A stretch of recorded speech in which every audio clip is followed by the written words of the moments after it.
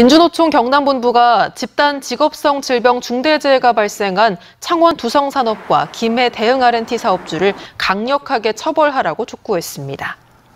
민주노총은 성명서에서 최근 경찰이 문제가 된 세척제를 만든 업체 대표를 구속한 것을 두고 제조나 판매 업체에 대한 처벌이 사용업체인 두성산업과 대흥 R&T 사업주에 대한 안전보건 의무 위반 면죄부는 아니라고 강조했습니다.